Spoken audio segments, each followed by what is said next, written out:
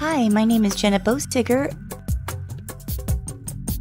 and you're watching Cryptic Cryptids.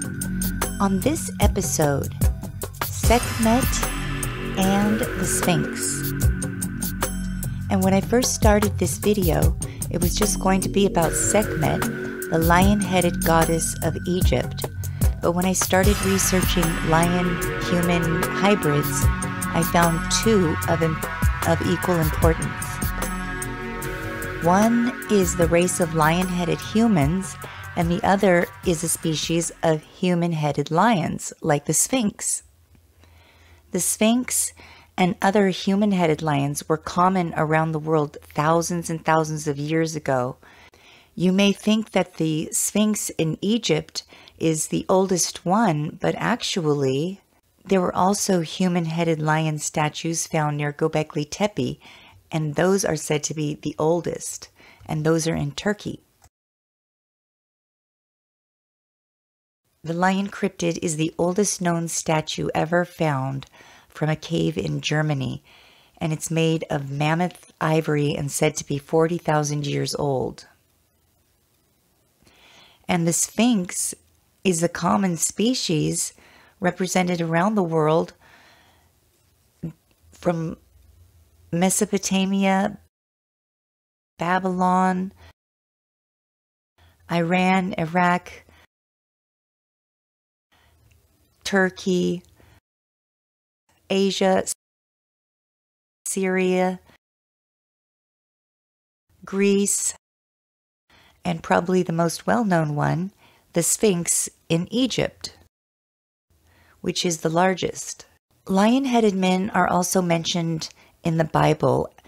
They come from Moab, which was a biblical place located in the Middle East, and according to the King James Version, they were lion like men, that is, their human features still retained some resemblance to the lion. Lion men warriors of ancient Babylon possessed lion heads, men's bodies, and birds' feet, and identified with Nergal, the god of the underworld. In Urmahlullu of Sumeria, there was a legend of a ruthless race of lion headed men. They were warriors that showed no mercy. There's another account in the Bible about fierce warriors who had the faces of lions in Chronicles 12:8. And just scattered throughout the Bible, they do mention a race of lion-headed men. Again, in Samuel, Benaiah slays two lion men of Moab. There's also this skull that is on display at the Museum of Anthropology at the University of Bologna in Germany and supposedly it shows the, the effects of a disease known as Leontiasis ossea. Or is this really evidence of a lion human hybrid? There's a German word, Lowenmensch, which means lion person.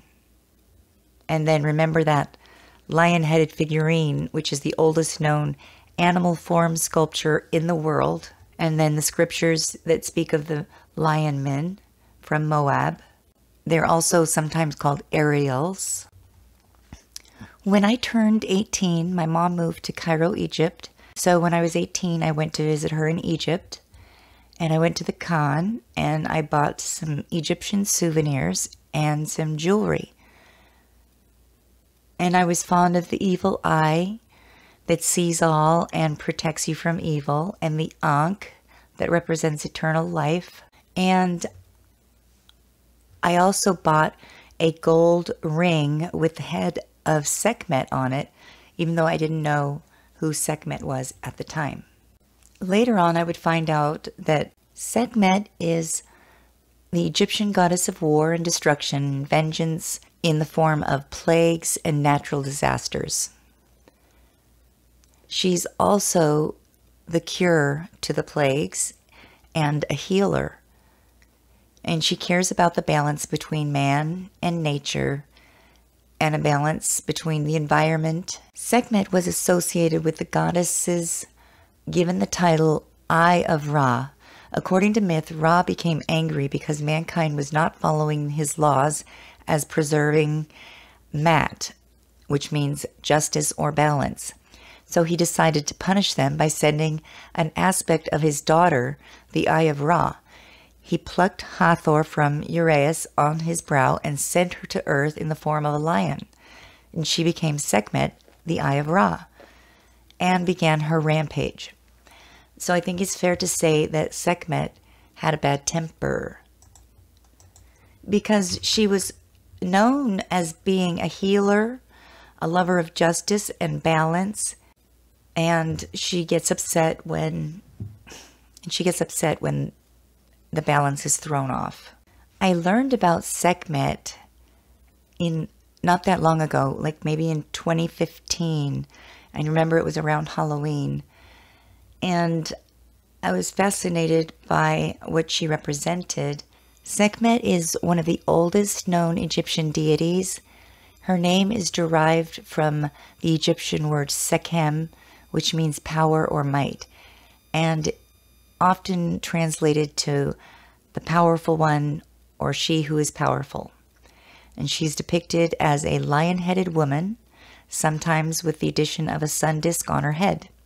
She was the patron of physicians and healers, and the priests of Sekhmet became known as skilled doctors. Sekhmet was mentioned a number of times in the spells of the Book of Dead as both a creative and destructive force, but above all, she is the protector of Maat, and Maat is balance or justice. She was also named the one who loves Maat, Maat, and who detests evil. She was also known as the Lady of Pestilence and the Red Lady, indicating her alignment with the desert. And it was thought that she could send plagues against those who angered her. Sekhmet's attributes were absorbed into that of Mut, which sometimes took on the form of a lion. So Sekhmet is a very important lion headed goddess from Egypt and one of the oldest, and she cares about the environment and animal rights.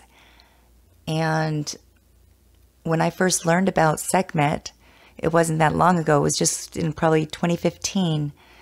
And I had, a, at that time when I was learning about her, I had just made up my mind that I was going to try to get involved with animal rights, even though I am an animal empath, and so deciding to get involved with animal rights was a big major decision because at that time I experienced it was a very difficult time for me. So Sekhmet is an important goddess. And it's funny, I looked for the pictures, some more pictures of me from Egypt, and the only one that I could find is this one with me in front of a lion with a man's head, which is exactly what we're talking about a lion cryptid. I was 18. Well, thank you. And this place in the middle of the jungle in Africa. I mean, just look at how old that must be. It looks so old. And then finally, this place called Ain Dara it's in Syria, and there, it's temple ruins, and you can see all around it there are the lion, the man-headed lion cryptids. But, and it's massive in scale, built around that same time, long ago, probably maybe antediluvian. And look what else was put in the stone at the time this was built giant footprints. I mean, how much more proof do you need, really, that this was built by giants?